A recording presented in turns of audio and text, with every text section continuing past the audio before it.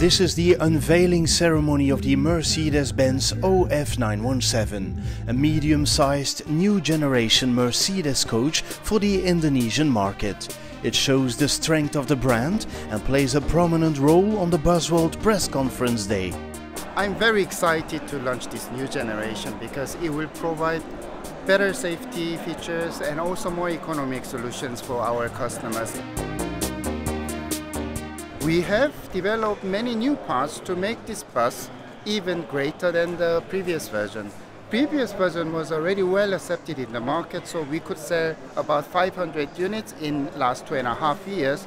But we said, okay, we are selling it in Indonesian market. We have to make this bus more fit to Indonesian market in the difficult, sometimes the road conditions and the driver's behavior. So in that sense, we made the bus even better which actually fits for Indonesian drivers and Indonesian road conditions. So that's why we believe this will provide more reliability. School bus, factory bus, coach for new tourism in Jakarta or intercity bus for the future of Indonesia.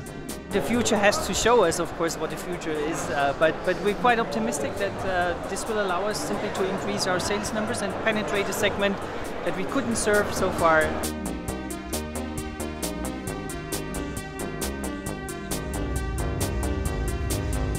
Together with his OF917, Daimler Bus wants to continue shaping people's transport in Indonesia, just like in all those decades before.